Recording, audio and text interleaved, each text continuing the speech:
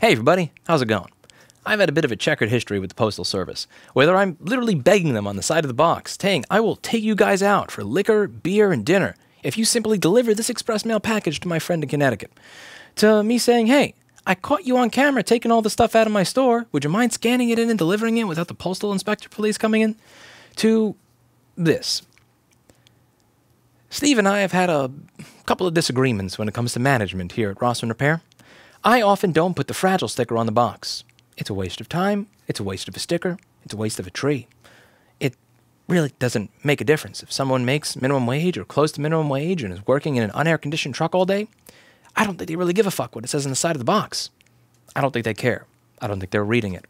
Most of the time, I don't even think they're reading the address that it goes to, as evidenced by the amount of packages I get that are supposed to be going to 141 West 26th Street on a regular basis. Steve argues that I should put the fragile sticker on the side of the box, that it will change the way the post office employee or the FedEx employee treats my packages, that he cares so much about his job that if he sees it says fragile, that he is going to lay it down as if he is doing a deadlift on a floor of solid gold.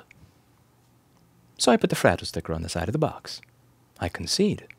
I admit that perhaps I am wrong, and I should listen to my better.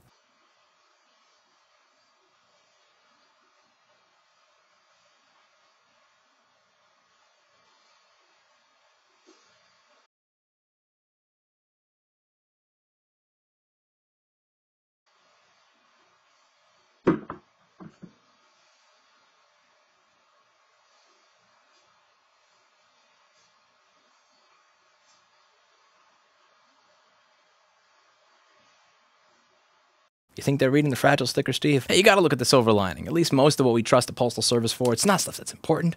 It's not to be a lot of conflict because, you know, it's used for junk mail, it's used for random crappy catalogs, it's how I get people back their luxury Facebook machines and their vacation photos. It's not like we trust them for anything really important, like the outcome of a United States presidential election. Good thing there, because then we'd have some real conflict on our hands. That's it for today. And as always, I hope you learned something. See you all in the next video. Bye now.